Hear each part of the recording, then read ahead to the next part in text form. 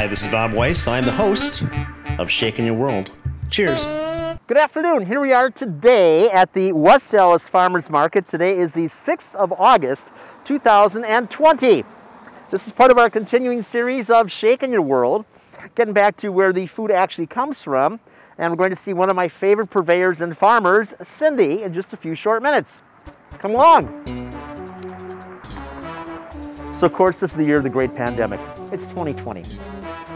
Everything has changed. Many people are still staying at home. It's going on for months now. We're in August. I'm gonna walk back here and see Cindy. You can see generally there are many more purveyors that would be here. Um, maybe they're keeping themselves for Saturday, uh, the very busy day, I'm not sure, but let's go talk to Cindy and find out what's up. Come on. So there's generally a variety of things here and what I typically like is that uh, not only is, is there just a bountiful display, but everything's incredibly fresh. Many of these things were picked the same day, and you have an opportunity to see just this incredible Lux product.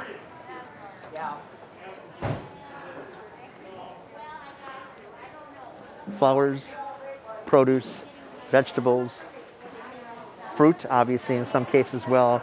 We're coming into the, uh, the tomato season. Um, all sorts of marvelous things that are of the moment, and that's really what the best play is here. So any color of, of tomato you want to find in Wisconsin, you can find here. Uh, cabbages, a variety of things that are just extraordinary. So typically every one of these stalls is completely filled to the max. Every space is taken. You can find uh, all these shelves are filled with people having fresh produce out.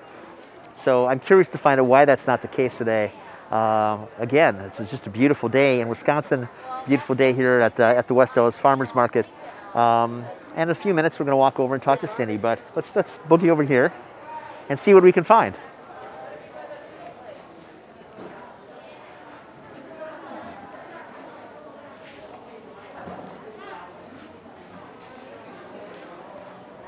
Beautiful produce. These zucchinis are gorgeous.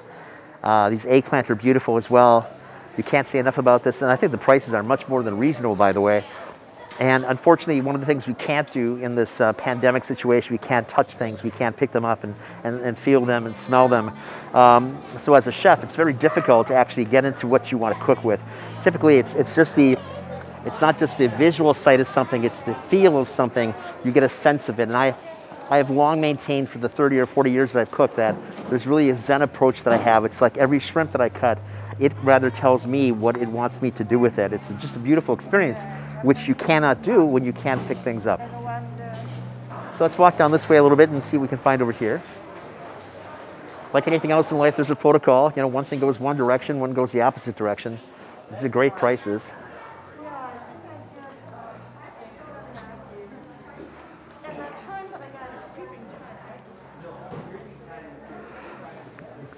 So I've stopped here often over the years as well, just some great things to work with. Uh, you know, coming up in this beautiful pickle season as well, remarkable products.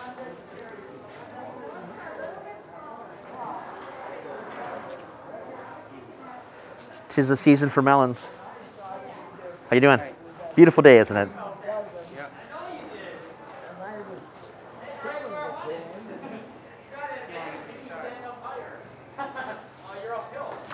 Patty pans. If you haven't worked with patty pans, it's a type of squash. Incredibly fun, easy to work with. I can recall when these first came on the scene 25 years ago playing with these. Lovely to saute, just real fast and they're done.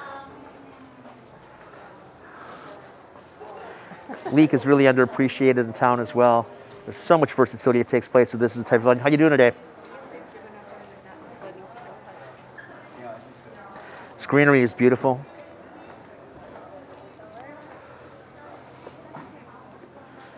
Absolutely lovely.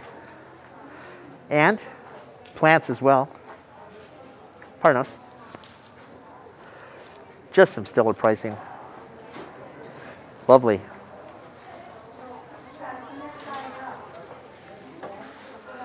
You're well familiar with the uh, daikon radish. Lovely product as well. How are you? Beautiful day, isn't it? Yeah, oh yeah. Lovely product, thank you.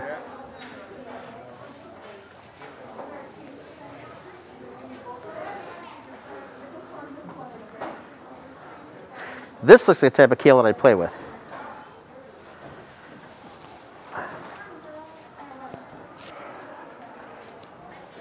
In the past, it wasn't just the produce and the fruits that were here. Uh, this magnificent floral displays, and I suppose that once you get into autumn, you'll see more of that taking place, but um, the fresh chickens, your organic chickens, the organic meats, I'm not seeing that today. So interesting.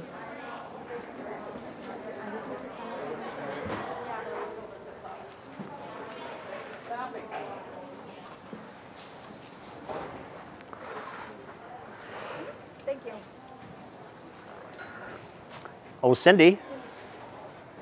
Hi. Hi. Got time to talk? Sure. Of all the people I've seen over the last 20 odd years or so at the West Allis Farmers Market, this by far is my favorite vendor. Cindy's an actual farmer. They're multi generational, and she has a real commitment to her produce as well. Um, looks a little bit slow today. No, it was really busy. We don't have hardly anything left. Good timing sold out of corn. Excellent. Yeah, we sold out of a lot of stuff. Fantastic. So, what are the biggest sellers this year? Uh, actually, everything. Okay. People are canning, Yeah. freezing, whatever they can. Staying at home, obviously, not going out to restaurants. Yep. Yep. Doing a lot of grilling of corn and Yeah. a lot of grilling of vegetables this year. Excellent. So, Well, good for you. yes. Yeah. Uh, what about the the meats and, and the, the chickens and things like that we've seen in the past? And the mushrooms, have they been around? Yes, the mushrooms come on Saturday. Okay. Chicken and meat, she's here all the time. Okay. Every day. Eggs, we sold out of eggs. We do chicken and duck eggs now. Good for you. So, but we sold out of those two today. Very nice. All right, I need some things. So, cool. Uh, bananas, both uh, sweet and uh, and hot. Okay. How many do you need? Uh, how have you got them bagged? Um, well, they're five per dollar, the baskets. We got 12, 15 on the hots. A large bag is good. You're looking for the half. Maybe a medium mid-size. This is a perfect Oh. size for me, so half a bushel is great. Uh, of half each- of of- this, you mean, or? No, no, this size each, of okay. one of each, please. Would be great. one of each, Yep. We've got the half sharps too, the sweets. Okay, all different kinds. Lovely. Reds in a couple weeks, probably. good. Uh, same size for the bells, please. Okay.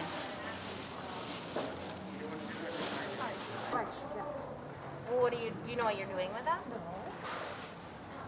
So.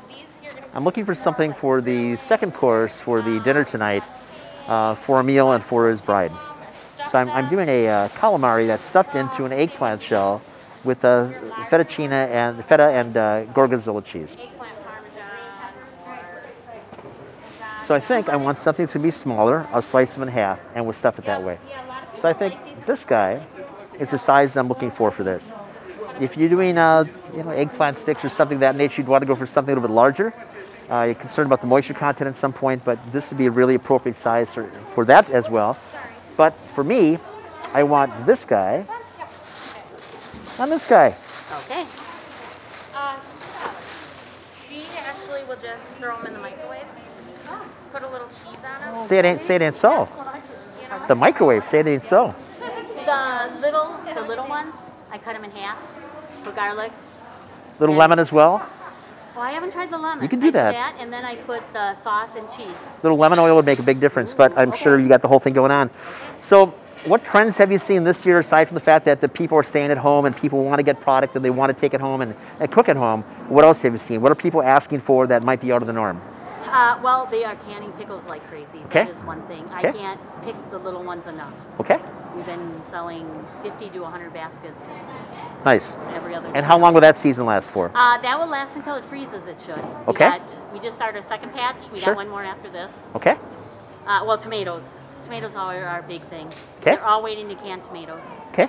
And you've got what another time. another month to go on this? Oh yeah, yeah. The Okay. canning hasn't started yet. Okay, So excellent. yeah. And things like dill, obviously towards the end of the season, I'm, I'm guessing, right? Yep. No, we've been having dill right along. Okay. The pickles. Yep. Cool. Onions. Everything has just been. People asking about red onions this year? Yep. Okay. We got our reds, whites, yellows. Okay. Yep. Obviously, no concerns about salmonella with you as opposed to the processing plants. No. No. All right. Nope. Um, so we just tell people, wash it when you take it home. there you go. Like anything else, right? Anything else. No Common sense. you buy, you. Common sense. Yep. Uh, and have you got a large bag of onions that I can uh, buy from you as well? Uh, I can make because that's all I've got left. Okay. They're mixed. Is that okay? Absolutely. Perfect. Can do that. Thank you. So okay. Any uh, any comments or anything you want to talk about? Oh, we just want everybody to come. Of course you do. Keep us keep us in business Tuesday, Thursday, Saturday. and keep the restaurants going because we do have a lot of restaurants. I'm We sure you have, do. Like you. Uh-huh. we have about 20 to 25 restaurants and Uh-huh. they're hurting right now. Yep. They're not buying as much because they Yep. just haven't been doing the business that they Right. need to do. True indeed. So, yes, get out there and support the restaurants too. Cool. Thanks, Cindy. Appreciate your time. Okay. Thank you.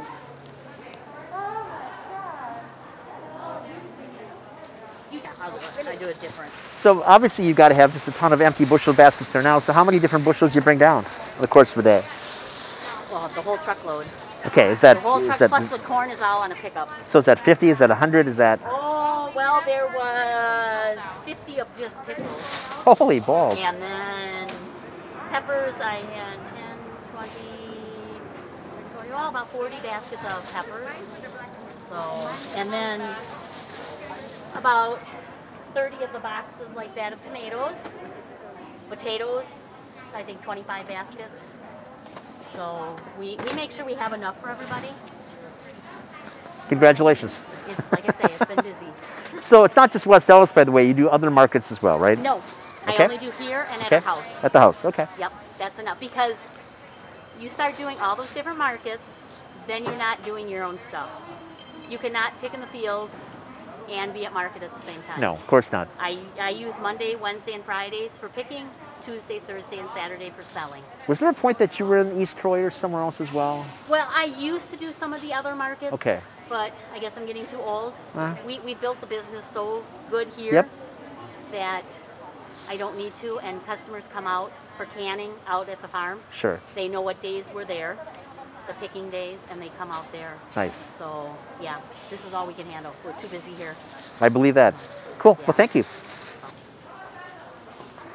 Emblematic of so much of summertime, we have these gorgeous flowers here, and this is really one of the beautiful things we have here. This is a marvelous produce market, farmers market, uh, chickens, organic meats, mushrooms on Saturdays, eh, and for these stellar plants. And just to take the opportunity, which you have now during the COVIDcation, smell the flowers, embrace nature, embrace the natural products you can get directly from the farm, take home at your own table, not even going through a restaurant.